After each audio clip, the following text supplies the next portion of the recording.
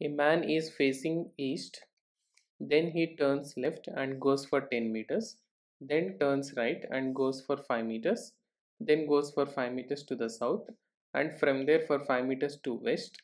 In which direction is he from original place? So let us take the directions east west north and south. And now we'll follow accordingly. So let us mark the position of person man initially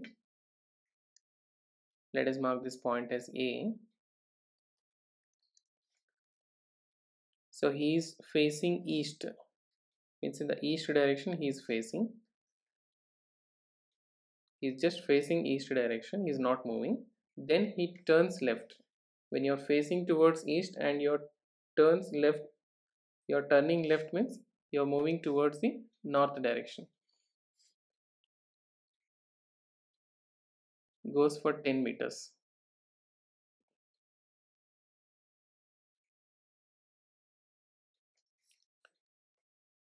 So let us assume that 10 meters from the initial point.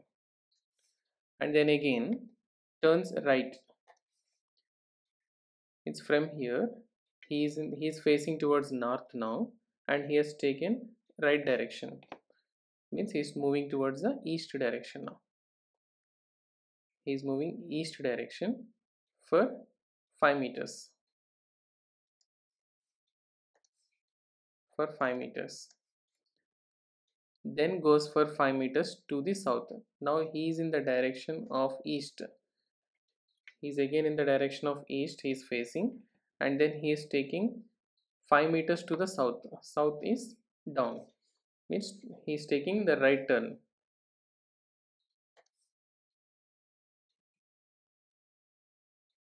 he is moving for 5 meters again.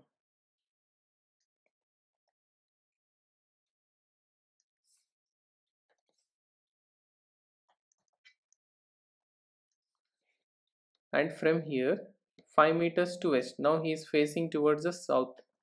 He is facing towards the south direction. And then he take 5 meters to west. He is taking 5 meters to west means which direction is turning? He is taking right turn towards the west direction. So again 5 meters.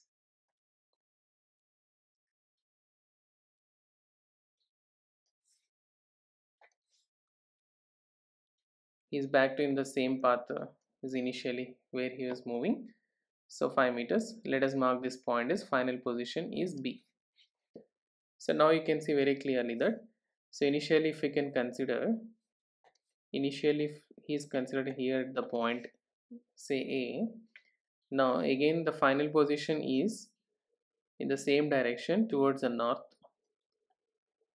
say B at a distance of 5 meters.